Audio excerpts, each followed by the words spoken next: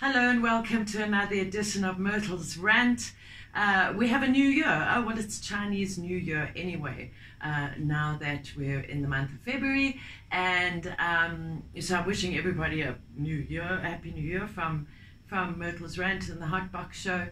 And it does, it does feel like a new year, although we're a month into it, uh, almost a month and a half into it.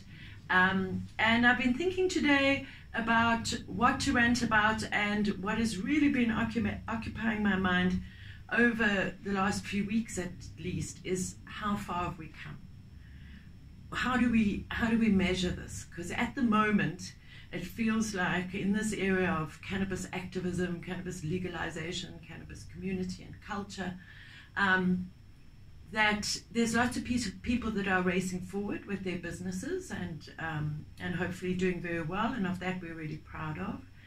But we seem to be somewhat stagnated when it comes to having any good news when it comes to the cannabis industry in South Africa. We haven't heard anything about the bill. We haven't heard anything about the master plan. I know that, as I've always said, we will see the most movement on the provincial level and I know that the Western Cape Can Plan um, has been having a few meetings, which I've been following along with. But as we move into this very busy time of the year in our cannabis industry, we're going into March, which is traditionally the month of CND, and I'll talk a bit about that a bit later. And then we're, where everybody's busy advertising their events for 420 in April, which is our, our dedicated month of cannabis culture, where we have loads and loads of fun. But what have we got to actually take into this new cannabis year? Um, tonight, at I think it's at eight o'clock tonight, um, we will have another SONA State of the Nation address by our president. And we know for the last three years that he has promised to have some sort of movement on the commercialization of cannabis and um, blah, blah, blah, and more blah, blah, blah. So I don't think, I think it will be very embarrassing for him to actually mention cannabis again tonight. So I think that's the only reason why I'll go and watch the Sona tonight is because maybe he'll mention cannabis again and then he'll really have egg on his face. We haven't heard a thing. But we soldier on. And that brings me to some very, very exciting news um, that I'll be traveling to Spain with ICEERS on the Catalonian Cannabis Club tour. Um, what do I tell people in Spain? Well, I tell them that we're in exactly the situation that they are in in Spain. Spain has also not seen any movement on the actual de facto legalization of their clubs, although they are the absolute pioneers in this in this part of things. Because in South Africa, while some clubs might be launching now and splashing all over social media, which doesn't make them private. Um, other clubs are, are really feeling feeling threatened. There's rumours go, are going around that certain clubs are going to be targeted by the police. We still have to raise 150,000 rand for the Haze Club case, and I really feel a responsibility for for the Haze Club and for Neil and how brave he is taking this all the way to the Supreme Court of Appeal. We still have our Labour Court case, which is pending. We haven't heard a thing as to what a date, and we still need to raise at least 50,000 Rand for Bernie to proceed. Um, and then we're going to Vienna and we're asking for money again when there, when there really is no economy and no money left for non-profit companies. So where does that leave us? That leaves us making an appeal to those people who are making money in the cannabis industry, those people who've got a fruitful and abundant relationship with the cannabis plant when it comes to their bank balance. So that's the frustration. I really do think that the reason why we have seen the corporate capture of cannabis and we see uh, repeated news reports showing us all of these beautiful weed plants growing under lights using Eskom that we don't have um, and exporting that weed. Uh, so my rant today is where are you, those people who are reaping abundance from the cannabis industry, where are you when we really, really most need your help? the reason why the so called medical cannabis industry in South Africa is supposed to be worth so much is because those are the people who have the capital to put in. Now, why don't you do a bit of a greenwashing campaign? Why don't you go and say, look how we are supporting the cannabis community in South Africa by supporting Fields of Green for All, who feel a bit embarrassed to ask our community for money because we know that everybody's struggling. We will show your name in lights if you do that. Oh, but no. We have to appeal to our international community and our GoFundMe campaign.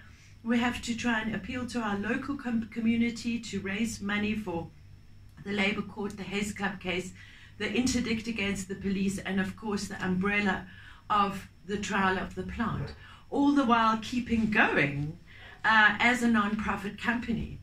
But I must say, that if it wasn't for my amazing, amazing team here at Fields of Green for All, we wouldn't be anywhere and we wouldn't keep going at all because Joe repainted our beautiful hotbox studio this week out of her own pocket. Uh, Amy is keeping up with all of the, our affiliates and making sure that they get a balanced um, a balanced agreement with Fields of Green for All when they give us their monthly donations. Charl is busy helping with blog posts and social media posts so that we can keep up with our marketing campaign. And Rian is, while working really hard in the movie industry, is keeping all our technical uh, stuff going. So we have this amazing team on the ground. We've got a, a small group of now 25 affiliate companies who support us every month. And to them, we are eternally grateful. But it could be so much bigger we really could see results. And this brings me back to the beginning again. Where are the results of our work on the international um, arena? Well, we have achieved our ECOSOC status, and we certainly are being heard on an international level, and the results are happening. But it's complicated stuff. For example, at the WHO, there are um, uh, ongoing discussions about indigenous medicines, and that's not connected to CND, and that might be one of our things going forward as the voice of legacy cannabis to connect those two. But we can't do that unless we can participate. And in order to participate, that takes time and energy and, of course, money. So we are making progress. I sometimes doubt myself, but then our international colleagues always reassure us that we are making progress. So I really hope that I won't have to rant about money again in the very near future. As I say, the best way to support us is to sign up as an affiliate or to be an individual Green Network member. Um, and if you do know of somebody who has an abundant life, thank you to the cannabis industry, maybe you could pass on this message because we are really, really trying to get this job done that Jules and I started uh, nearly 13 years ago. And um, yeah, on next Tuesday is Valentine's Day, and that will be the anniversary of Jules and my first court appearance in the Krugersdorp Magistrates Court. And that will see uh, that will be um, 2010 to 2012, 13 years uh, since that first Magis- magistrates court appearance. And um, we would really be, like to be able to put a timeline on wrapping all of this up. We can't keep going to Vienna year in and year out without seeing any progress.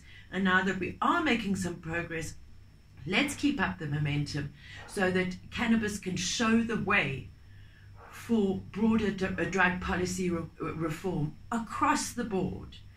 Um, this is not only about to legalize or not to legalize. This is about herbal cannabis. We don't need medicinal cannabis. We don't need pharmaceutical cannabis. We need cannabis as medicine for whatever reason that you're going to use the plant. And that's the bigger picture story. But we thank you in advance for your support and we thank those people who are already supporting us. And that's my rant for today. Lots of love from everybody at Fields of Green for All.